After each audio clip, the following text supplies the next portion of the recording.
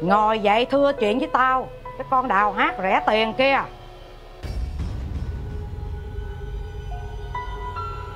Ngồi dậy. Mày định nằm bất động vậy trả lời tao đó hả?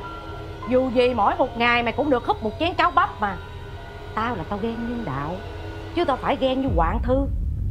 Ngồi dậy mày. Tôi không ngồi dậy được. Bà giết tôi được thì bà giết đi.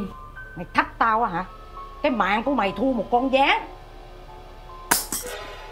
Mày trả lời cho tao biết Lý do chi mà mày đâm ổng.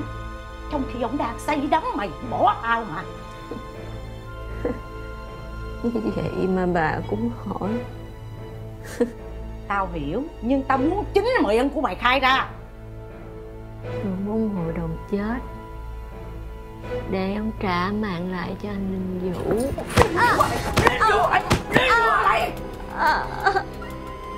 Mày đừng có ý Là mày đẹp, Mày có nhan sắc, Mày có giọng ca rồi mày long. Mày nên nhớ là Chỉ có tao Có tao Tao mới hiểu được cái tánh ông hội đồng. Mày tưởng mày có con trong bụng mày là ông để mày hả mày? Đừng hòng Ông cho tao ra.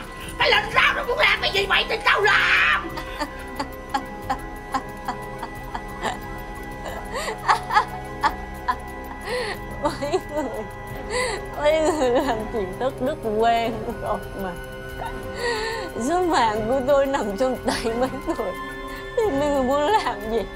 Muốn xử sao thì xử Chết! Chưa phải là Mày mày vẫn lưỡi hả mày? Chết không hết thì là cái gì? Nhưng tao đâu có ngu. Tao đâu có giết mày cho tao mang tội. Ừ?